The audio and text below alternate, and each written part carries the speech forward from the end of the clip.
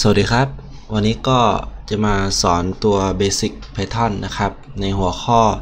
อการอ่านไฟล์นะครับ ตัว ini นะครับ ไฟล์นามสกุล ini ก็คือจะเป็นการอ่านไฟล์พวก config ต่างๆ นะครับ เวลาที่เราเอาไปเขียนบอทหรือว่าเอาเป็นไฟล์ไว้ตั้งค่าการใช้งานนะครับผม อะ ก็เดี๋ยวมาดูกันนะครับ โอเค อันดับแรกครับผมก็จะสร้างโฟลเดอร์ขึ้นมา นะครับหนึ่งโฟลเดอร์ก่อนเอาไว้เขียนโค้ดแล้วกันก็เขียนว่าเป็น get แล้วกันนะฮะ get ini นะครับเปิดขึ้นมา เสร็จแล้วผมก็จะเปิด PyCharm ขึ้นมานะครับโอเคอะ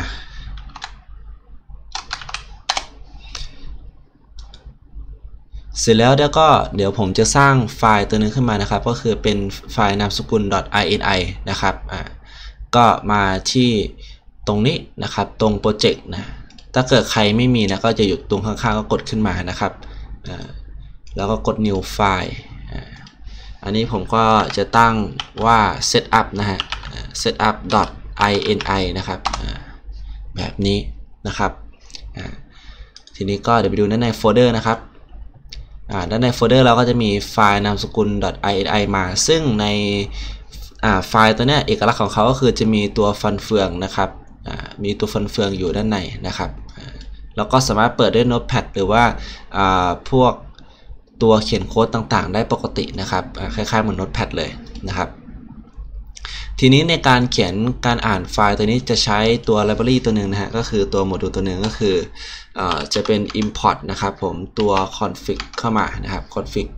parser นะผมน่าจะออกเสียงถูกเป็นตัวนี้อ่าแล้วก็ add นะครับ cf ขึ้นมาอ่าเราจะมาซื้อของกันนะไม่ใช่ โอเค เมื่อ add cf เพื่อให้มันสั้นลงนะครับเราจะไม่ต้องไปพิมพ์ยาวๆนะครับ เวลาที่เราจะเรียกใช้ตัว library ตัวนี้นะฮะอะ เมื่อเราเลื่อนลงมาข้างล่างนะครับ ในตัวนี้ผมก็จะสร้างนะครับตัวแปรตัวหนึ่งชื่อว่า setup นะฮะอ่าเท่ากับ cf อ่า dot นะครับอ่า dot ตัวนี้อ่า config parser ก็คือจะเป็นพิมพ์ใหญ่นะครับ อันนี้เป็นพิมพ์เล็กอ่าอันนี้ก็จะเป็นพิมพ์ใหญ่ เสร็จแล้วก็ใส่วงเล็บเปิดปิดให้เขานะครับ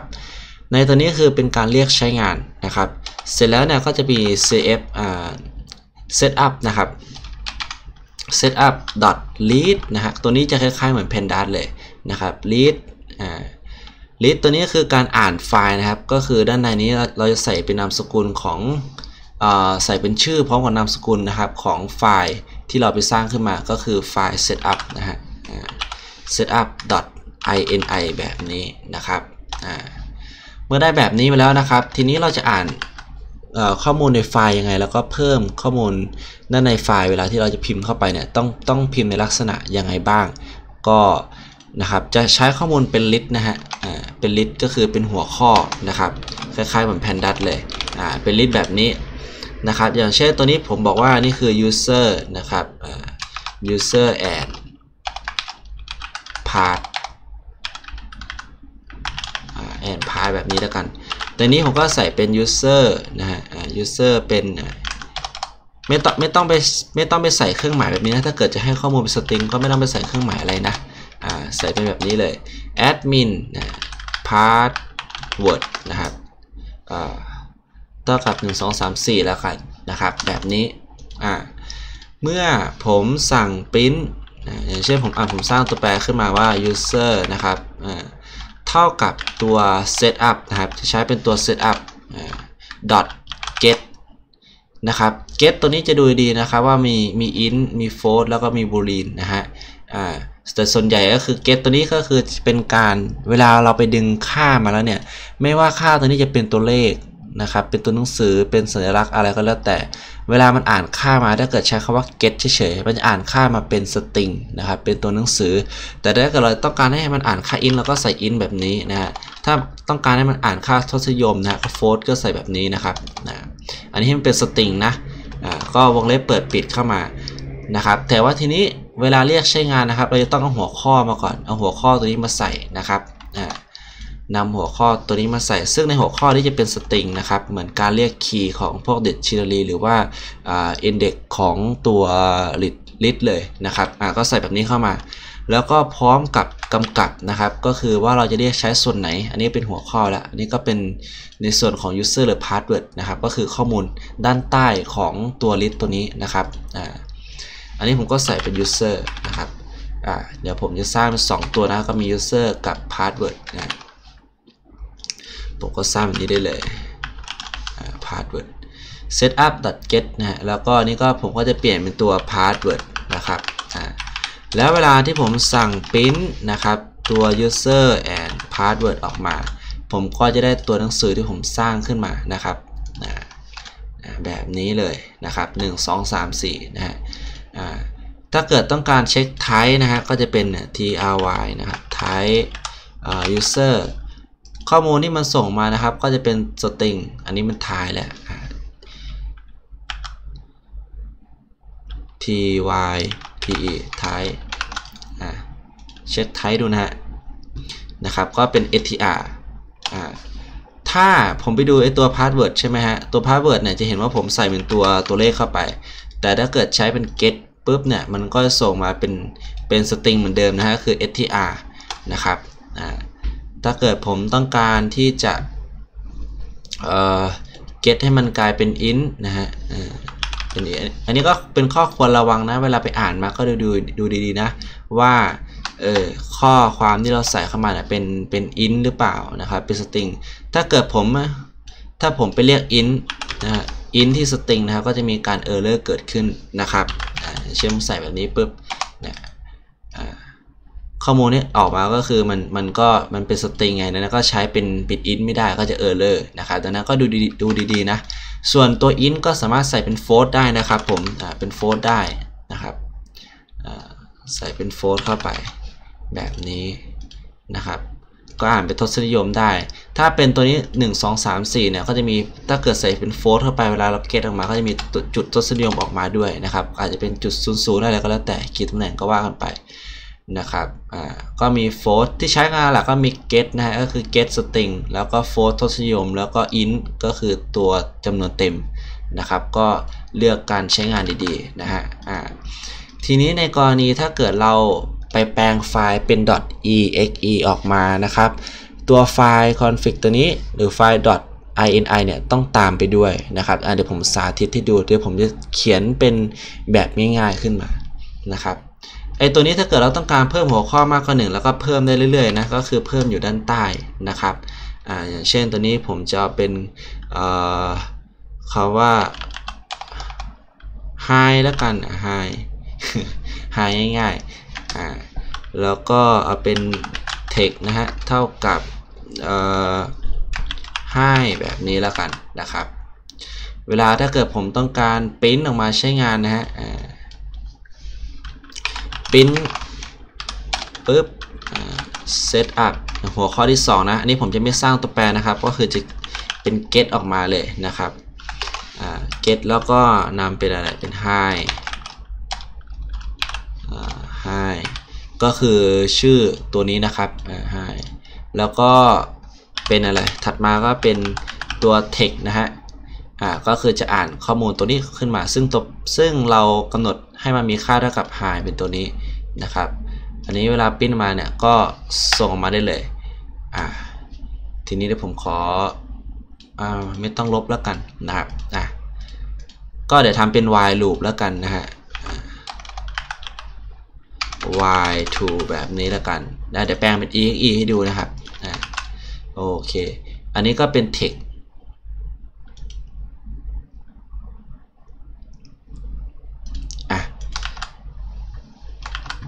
เดี๋ยวผมขอเปลี่ยนเนี่ย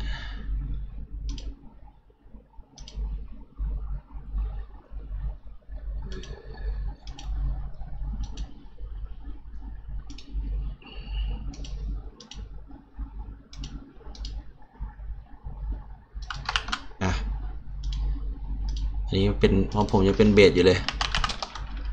เเดี๋ยวผมขอเปลี่ยนเป็น พอดีของผมมีมันมีหลายตัวไอตัวที่ใช้อยู่ไอตัวที่ใช้อยู่ปัจจุบันเวลาแปลงเป็น .exe มามันจะมันจะลากไฟล์อื่นมาด้วยนะครับซึ่งมันจะมีอะโอเคไม่เจาะลึกแล้วกันอะเดี๋ยวผมขอแปลงอะนะคนอื่นไม่ต้องแปลงนะคนอื่นไม่ต้องแปลงเหมือนผมนะอ่า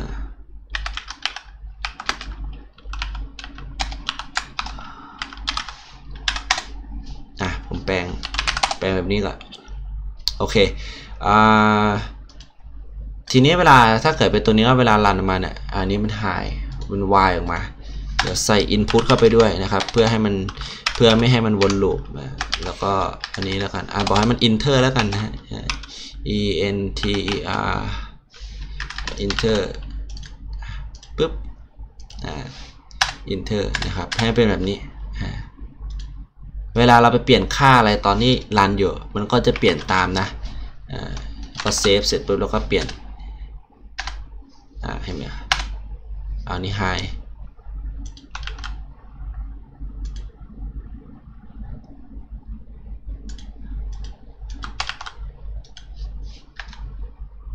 อะมันยังจำค่าเดิมอยู่อ่าแต่โดยปกติบางทีบางครั้งนะครับมัน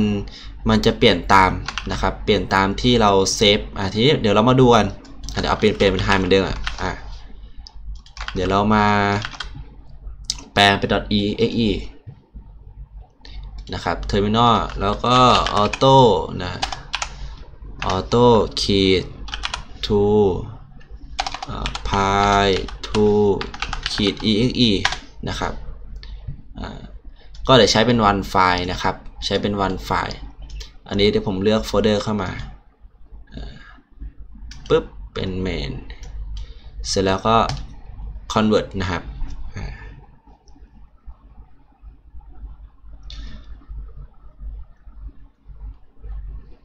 ตอนที่เราแปลงออกมาเรียบร้อยแล้วนะครับ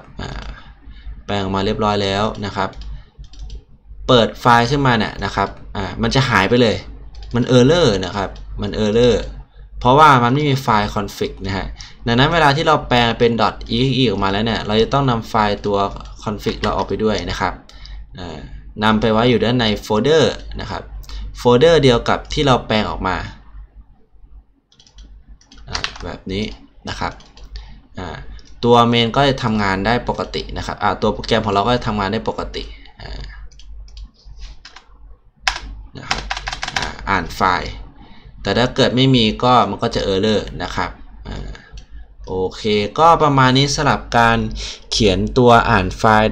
.ini นะครับ เบื้องต้นก็สำหรับการใช้งานตัวนี้ก็ส่วนใหญ่ก็จะใช้เป็นพวกในเรื่องของการตั้งค่านะครับ เกี่ยวกับโปรแกรมของเรา ต่างๆนะครับ ในการอ่านไฟล์ก็จะมีหลายรูปแบบนะครับ ไม่ว่าจะเป็นไฟล์ .txt นะฮะก็คือ .text ก็จะมีอีกรูปแบบหนึ่งหรือไม่ว่าจะเป็นไฟล์ตัว data frame นะครับ พวก pandas อะไรเงี้ยก็อีกแบบหนึ่งคล้ายๆ พวก excel นะครับ .csv ก็อีกแบบหนึ่งนะครับก็ในหัวข้อหลักนะครับ ก็มีก็มีเคยสอนไปแล้วนะครับ คร่าวๆไม่แค่คร่าวๆหรอกก็ใหญ่ๆแหละเกี่ยวกับพวก pandas เกี่ยวกับการอ่านไฟล์หรือว่าการอ่านโมดูลของ .py .py อันนี้ก็เดี๋ยวมาย่อยให้ Python อีกทีนึง อันนี้ก็จะเป็น เป็น .ini ก่อนนะครับ เอามาให้ โอเคเดี๋ยวก็ EP หน้าเดี๋ยวดูกันว่าจะมีอะไรมานะครับ โอเคครับ สวัสดีครับ